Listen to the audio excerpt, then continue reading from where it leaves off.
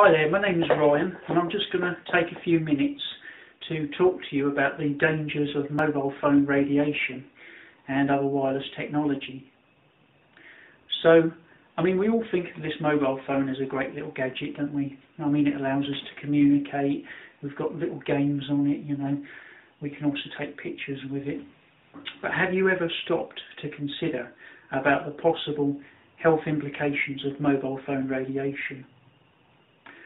My own personal story is that I've been severely affected by mobile phone radiation, so much so that I have to wear a hairnet over my head, this is my net, when I go out of the house, because I get severe headaches, I become dizzy, disorientated, and I just get this horrible burning in my head for about two or three days.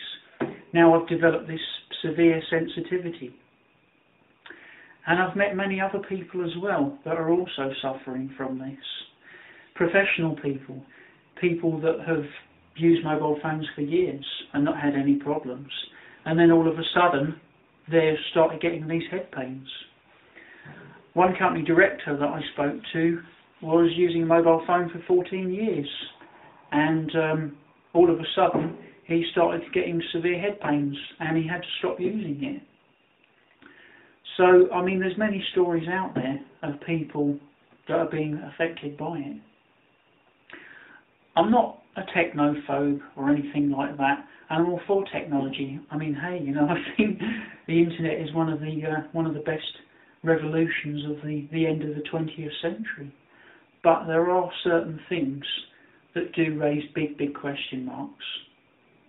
And one of those things is radiation from mobile phones and other wireless technology. I mean, we're talking about things like cordless phones and Wi-Fi as well, because these also emit radio waves.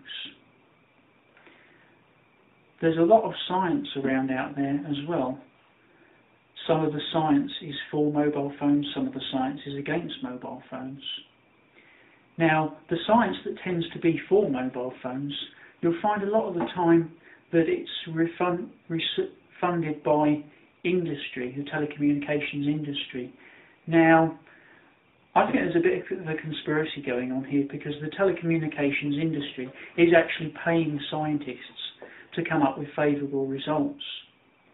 Now, those scientists that want to come up with the real science are finding that um, somehow they're having their research budgets cut and they've got difficulty finding funding. One such scientist that I came across on the internet is a scientist by the name of Dr. George Carlo. Now, he was given $28 million by the US telecommunications industry to come up with scientific evidence that mobile phones were safe. However, he came up with completely the opposite results.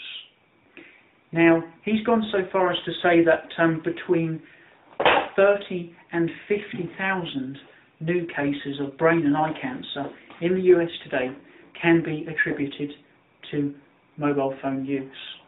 Now that's a pretty big figure there. Now doesn't that raise question marks in your mind? Now, whether you take on board this or not is entirely up to you. All I'm doing is I'm here just to inform you and give you good information. Now, don't just take my word for it you can also have a look for yourself. If you go to any internet search engine like Google, AltaVista or Yahoo or anybody like that, just type in the words mobile phone radiation and put speech marks either side so it only looks for those words together. And you just find out how many res results that search comes up with.